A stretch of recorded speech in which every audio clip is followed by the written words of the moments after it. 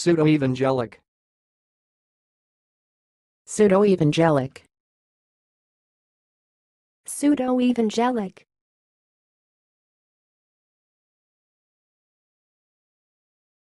Thanks for watching. Please subscribe to our videos on